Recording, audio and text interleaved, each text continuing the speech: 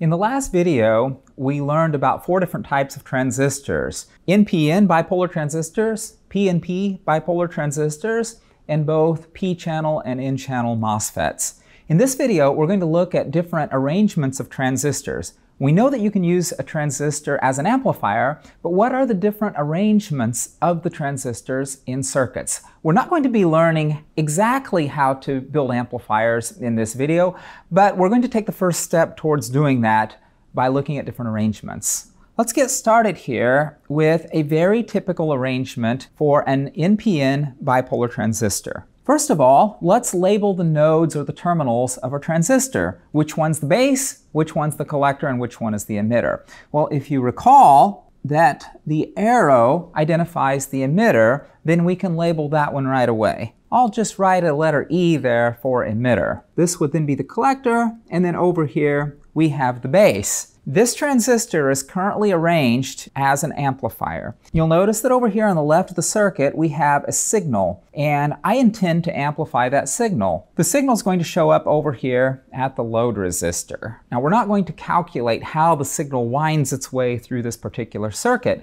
but suffice it to say that the power used to drive the load resistor is going to be coming from our DC power supply up here at the top rather than from our source. You'll notice that we're using our AC signal here to control the voltage at the base. That's very typical in a transistor amplifier. Let's trace our signal's path from source to load. We have a capacitor here along the path, and the capacitor is there in order to prevent the base from effectively being grounded. The impedance of this capacitor is given by 1 divided by j omega c. So provided that the capacitor is large enough and the frequency is high enough, then as far as AC signals are concerned, it's like the capacitor is not even there. It's like a short circuit. That's why this signal can pass right through that capacitor. But whatever DC voltage we might need in order to ensure our transistor is operating properly, the DC signal won't be able to go leftwards through that capacitor. Our signal then shows up at the collector of the transistor and finds its way to the load. In a future video, I'll show how to calculate exactly what that AC signal is. But in this example, I can merely say, oh, there's the load resistor and it's attached to the collector. What I'm getting at here is that the base and the collector are involved in the signal path, but the emitter is not. You see, the emitter is just connected to ground through a resistor. It's not connected to either the source or the load. It's separate from both of them.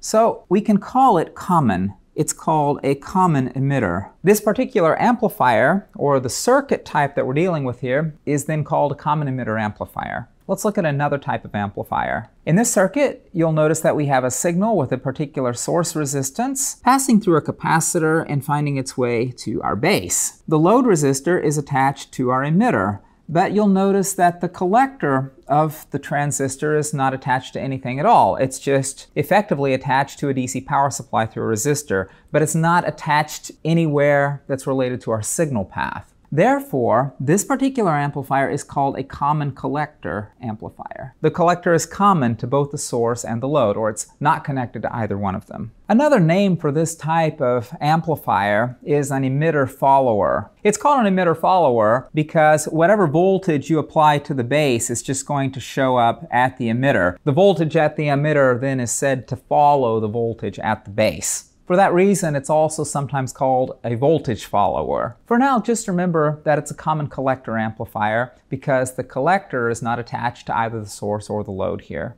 Because we have three terminals, we then have one more way that we can wire up an amplifier. In this case, our source is attached to our emitter and our load is attached to our collector. Our base is attached to a ground through this capacitor, so you could say that the base is grounded as far as AC signals are concerned. For DC signals, on the other hand, we're going to have a particular DC voltage present here at our base, and that's a function of the voltage divider made by these two resistors. Because the base is not attached to either the source or the load, we can call this type of amplifier a common base amplifier. All three of these amplifier types are used in electrical circuits because each has its own particular advantages and disadvantages.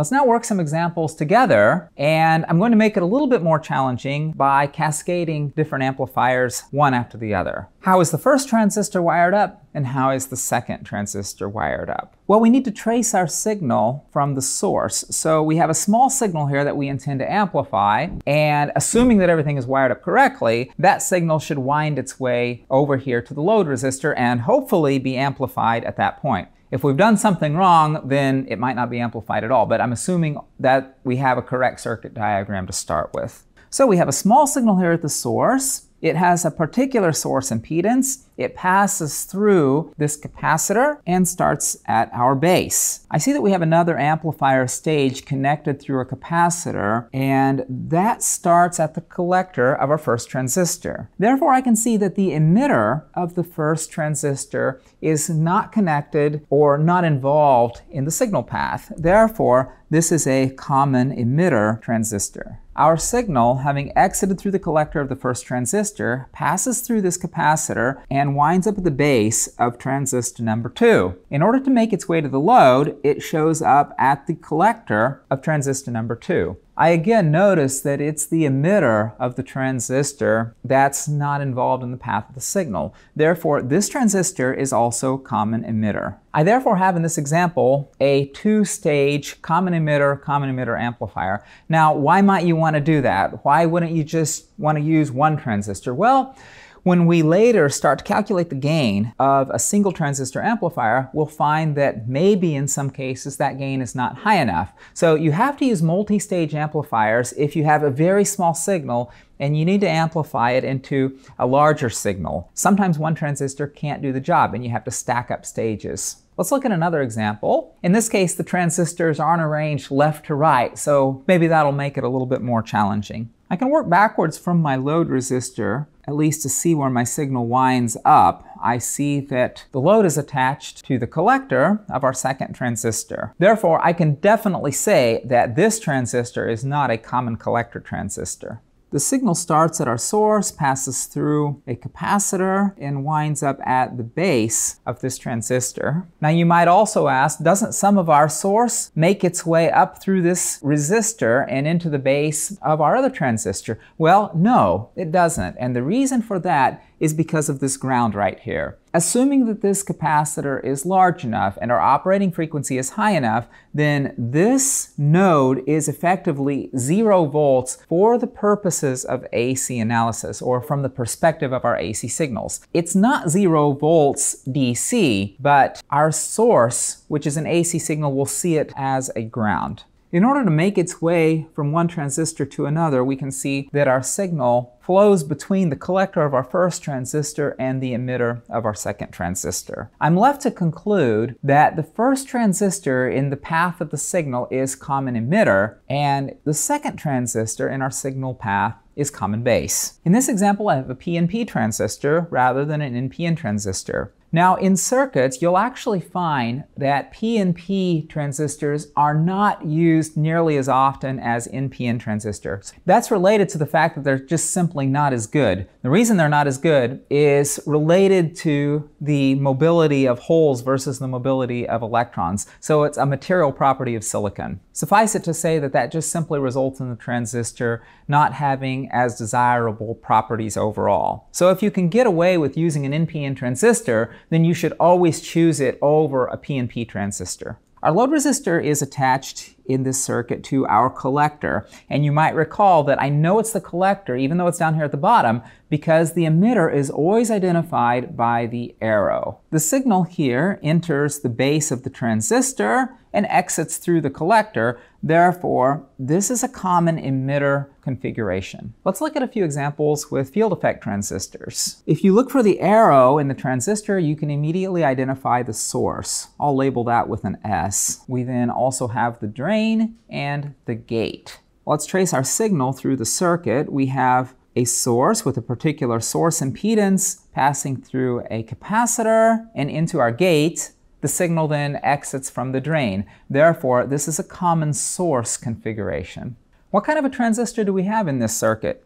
Is this a P-channel MOSFET or is this an N-channel MOSFET? Well, because the arrow is down here at the bottom, pointed outwards, it's N-channel, just like it was in the last example. This is our source, this is our drain, and here's our gate. Our signal passes into the gate and out the source, therefore I can conclude that this is a common drain. What do we have here? Well, we again have an N-channel MOSFET. There's our source, there's our gate, and there's our drain. The signal enters our amplifier at the source of this transistor, and it exits at the drain. The gate is common, therefore this is a common gate configuration. We've basically just identified six different configurations, three per transistor. For the bipolar transistors, we learned how to identify common emitter, common collector, and common base configurations.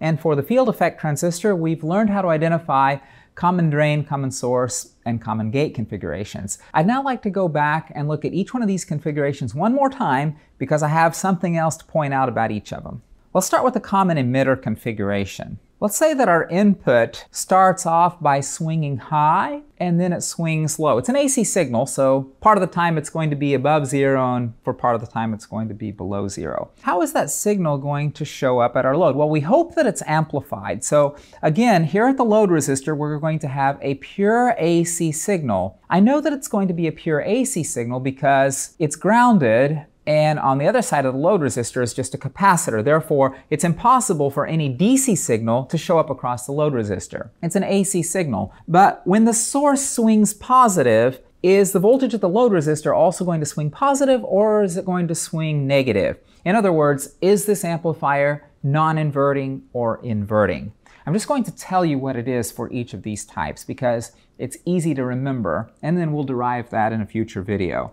For common emitter, it's inverting, meaning if the source swings high, the load's going to swing low and vice versa. For the common collector configuration, it's non-inverting. When the signal swings high, the output's also going to swing high. When the signal's low, the output is low. The same thing for the common base. When the signal moves up, the voltage here at our load also moves up. They move up and down together. For common source, it's inverting. Common drain is non-inverting, and common gate is also non-inverting. I'd like to summarize what I just pointed out in a little chart. In the case of the bipolar transistors, only the common emitter configuration was inverting. That's something worth simply memorizing. For field effect transistors, the source is entirely analogous to the emitter of bipolar transistors, so a common source configuration will be inverting. The other two configurations, common drain and common gate, are non-inverting. In this video, we've learned how to identify various configurations of amplifiers. It turns out that the voltage gain for some of these configurations is higher than 1, and for other configurations, it's nearly 1 or even less than 1. Why might you want to have an amplifier that has a voltage gain less than 1? That's what we'll look at in the next video.